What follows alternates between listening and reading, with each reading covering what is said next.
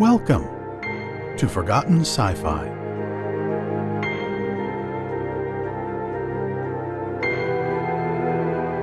From Kaw, this is the Time Eliminator.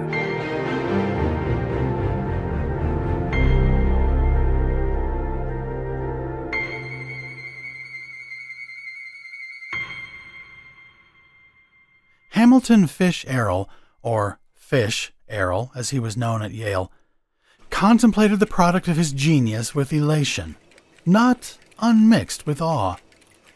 The machine stood on a solid block of transparent glass and resembled, somewhat, a modern radio cabinet combined with a motion picture machine. Across the face of the cabinet were three dials, but here the resemblance to radio reception ceased, for these dials bore the legends longitude, latitude, and altitude, respectively.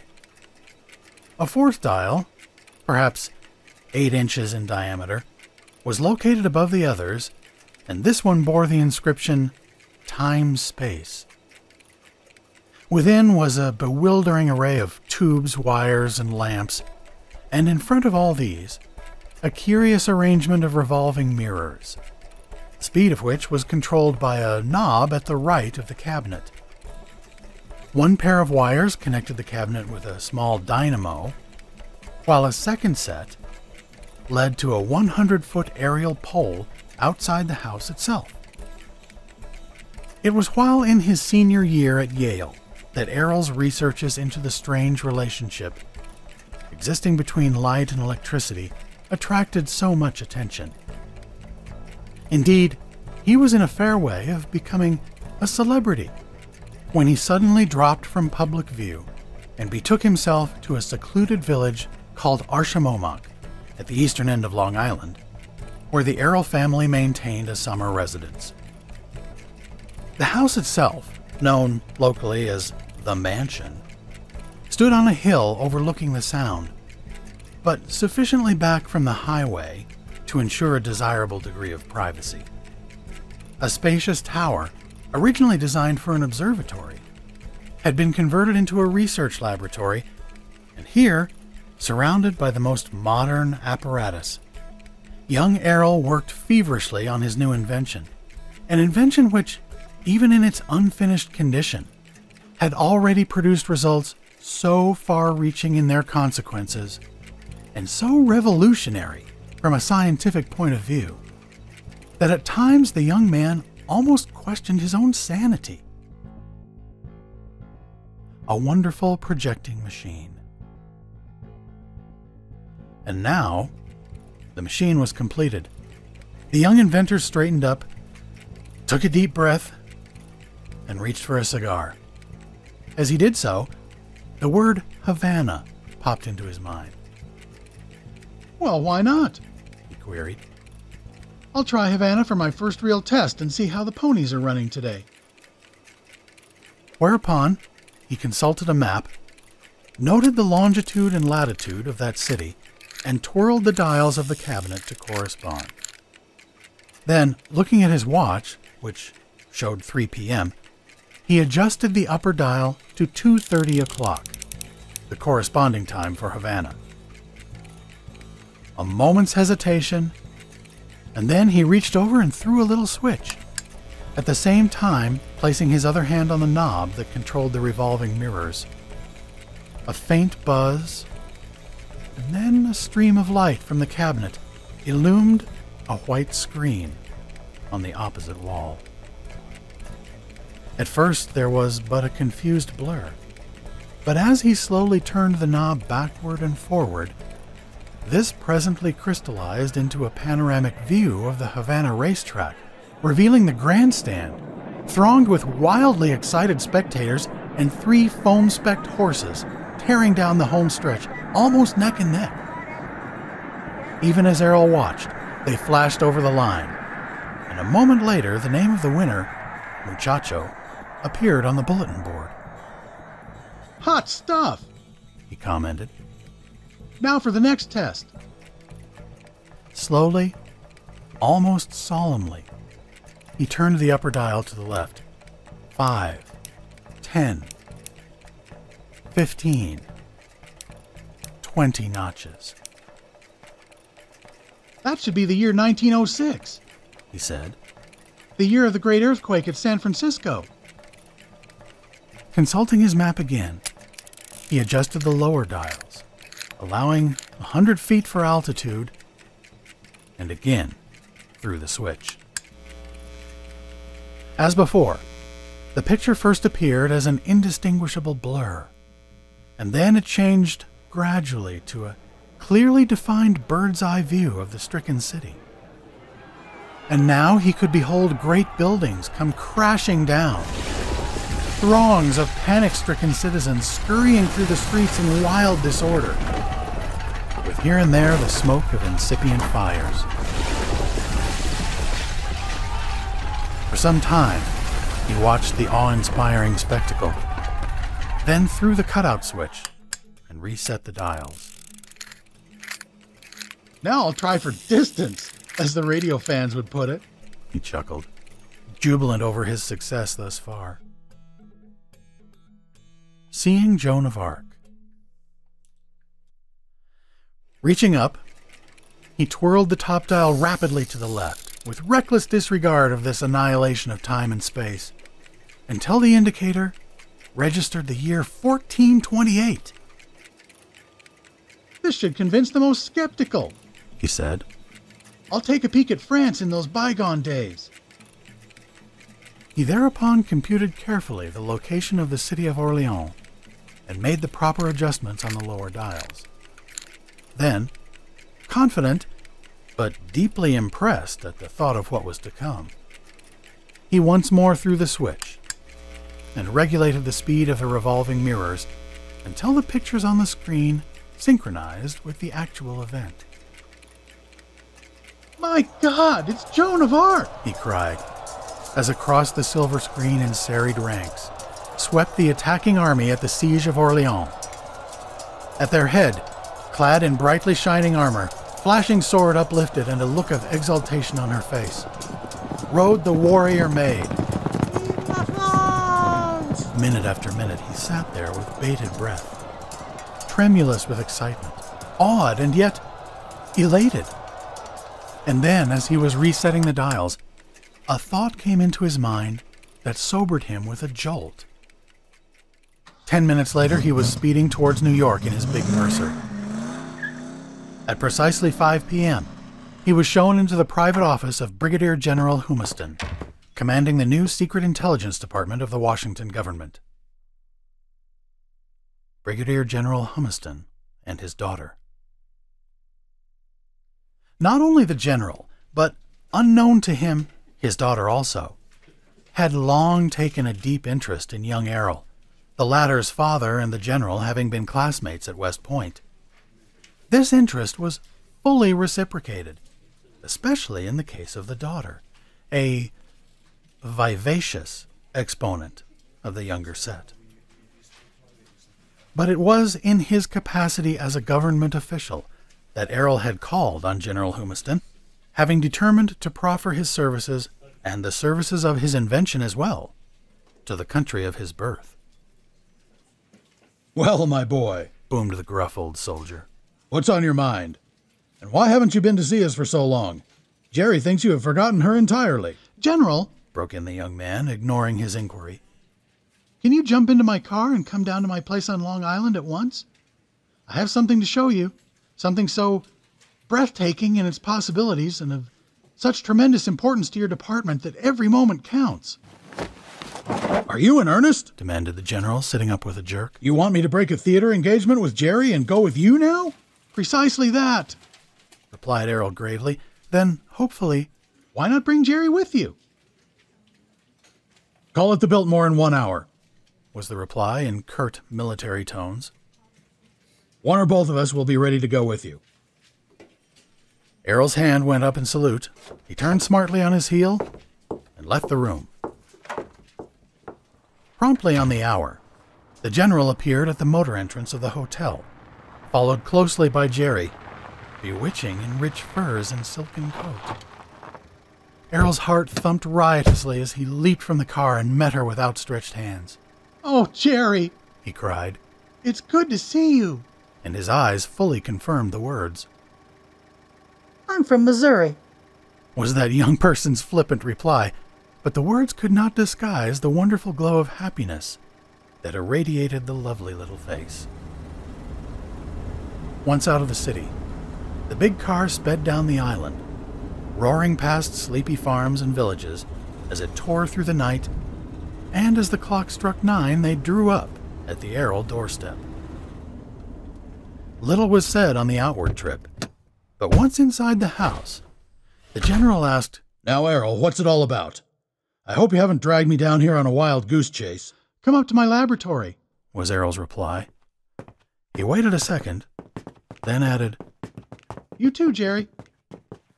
She gave him a quick glance of appreciation. Explanation of the invention. A moment more, and they were in the laboratory, Jerry and her father looking with frank curiosity at the mysterious cabinet. General, and you too, Jerry. Began Errol very soberly. What I'm about to show you is something so fantastic, so weird, so utterly removed from all human experience, that before proceeding further, I feel I should prepare your minds for what you are about to behold. Please be seated and follow closely. He paused, then went on. When the dynamo at a powerhouse breaks down, every trolley car on that system stops, and the electricity in the overhead wire and in the dynamo itself disappears, swallowed up in the Earth's general store of electric force. Unless this electricity can be made to reappear by starting up the dynamo again, streetcar service on that system is a thing of the past. This is obvious. Now, for the next step. You know how moving pictures are made with a blase photographer turning a crank while the villain chokes the heroine. Once the lights are switched off, however, the scene has passed into oblivion. Unless, or until, it is resurrected by projecting the film onto a screen. What few people realize is that every event on this earth leaves a record in light rays, whether or not a human photographer is present to snap the picture. In other words, light rays persist or endure, since nothing is lost in nature. To illustrate, through the medium of a powerful telescope, we are now able to get a view of celestial bodies, which, without the aid of this instrument, would necessitate a journey of years in their direction in order to obtain a corresponding view. If a cataclysm should destroy the Martian canals today, and we should travel towards that planet in a projectile at the rate of a mile a minute, it would take years ere we reached a point in space where the event would become visible to our eyes. Or, if we elected to remain here, it would take just that much longer before the event would appear to the inhabitants of this sphere. Again, consider the curious paradox presented last New Year's Eve.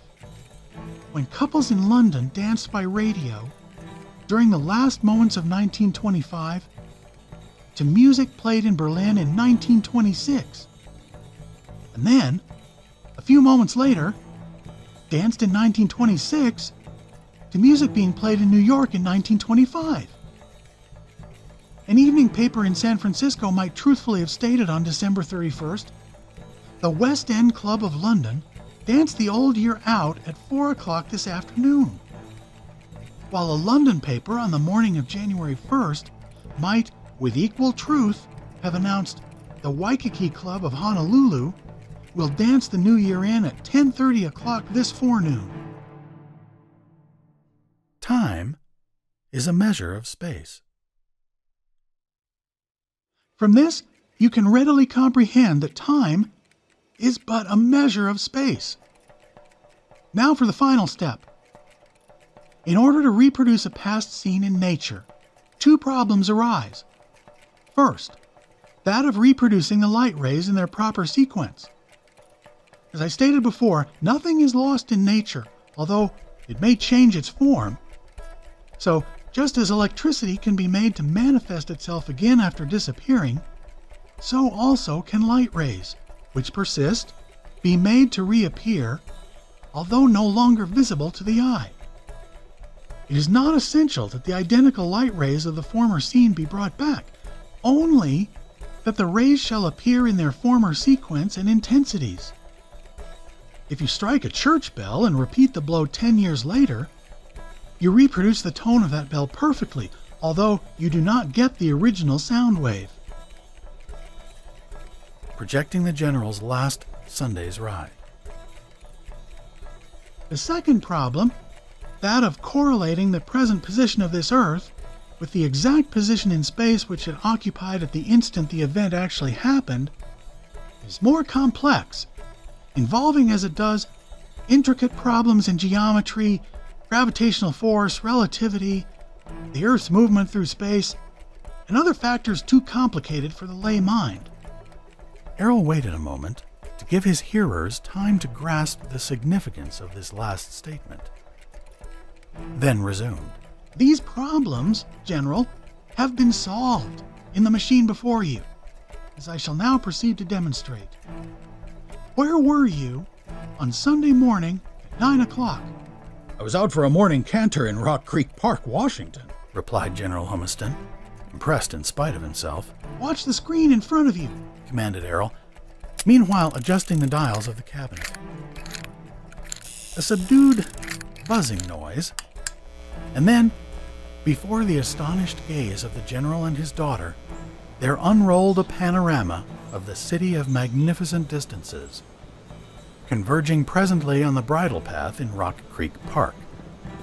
A moment later, the figure of General Humiston, mounted on his big gray charger, came galloping into view. The most secret plans an open book. My God! exclaimed that doughty soldier, springing to his feet. Do you realize, boy, what this invention would mean to your government? Why, the most secret plans of an enemy would be an open book to us. It was for just that reason that I have brought you here, replied the young man gravely. Before we go further into that, however, is there anything of special interest to your department right now that you would like to know? You couldn't tell me, could you? asked the general, stepping nearer in his excitement. Just who were present at a secret conference at Fontainebleau last Tuesday at 10 a.m.? Just a moment, cautioned Errol as he readjusted the dials and made the proper allowance for time and distance. Now watch the screen. Again, a faint buzzing noise. Then the light flashed on, and first came the Eiffel Tower into view, with its flaring automobile advertisement and then Fontainebleau. Even as they watched, the closed car drove up, and the French Minister of Commerce alighted and disappeared within the building. Then came the English Secretary of Commerce and Italy's representative, followed a moment later by the Russian Commissioner. Promptly on the hour, the German Minister of Trade and Industries drove up and joined the others. Errol glanced at the general, who was trembling with eagerness, exultation, and almost with fear. Yes, he muttered audibly. They're all there. I know every one of them. He was silent a moment. I presume you have an inkling of what this conference means, Errol. The idea is for each government here, represented to control some commodity that is absolutely essential to American industry, and then to boost the price to a figure so prohibitive as to provoke reprisals. These will then be seized upon as a pretext for the breaking of treaties. The next step is a world war against the United States. Our tremendous store of gold, the main objective. But it takes money to finance a war these days, objected Errol. Precisely. And therein is our strongest defense, was the answer. With foreknowledge of what is contemplated, our bankers can shut down on further loans abroad and curtail European credits. This machine will enable us to prepare for any contingency. By revealing every plan of the enemy, we can make this country practically impregnable. That is just it, replied Errol. The first thing broke in the general. is to safeguard your discovery. Should but a whisper of what you have accomplished get abroad, your life would not be worth a candle. I have thought of that, said the younger man. and for greater secrecy, I think the machine should be kept here rather than in Washington, where inevitably there would be a leak sooner or later. You could run down here for frequent visits. Yes, but I would have to have a very plausible reason for those visits. interposed the general. The apparatus wins the bride. Well, And here Errol paused and glanced at Jerry, who nodded brightly. why not spend your weekends here with Jerry and your new son in law? We expect to be married in June. What? What's that? shouted the old general, Jerry, your wife? How do you get that way, young man? and he tried to look very stern. In my day, He added virtuously, it was customary for the young lady's parents to be consulted. Um, mused Errol. would you mind telling me in what year you were married? I know. cried Jerry delightedly. They were married in Greenwich, Connecticut, just 22 years ago today, at 5 o'clock in the afternoon. Hey, wait a minute. exclaimed her father in evident confusion as Errol stepped to the little cabinet. But he was too late. Already, the machine had given its preliminary buzz, and the next moment they beheld a little two seated Ford, 1904 model, bumping and swaying along the Boston Post Road, just west of the state line. Perhaps half a mile behind them came a horse and buggy the irate driver lashing his foam flecked steed in a vain attempt to overtake the fleeing couple in the car. Errol glanced at Jerry, then at her father, and back to the picture. There could be no mistake. The girl in the little Ford might have been Jerry herself, save for the difference in dress, while the handsome young chap at her side, his eyes glued to the road, bore a resemblance to her father so striking as to dispel any doubt of his identity. You win. laughed the general, wiping his eyes. Take her, my boy, and may you be as happy as we were.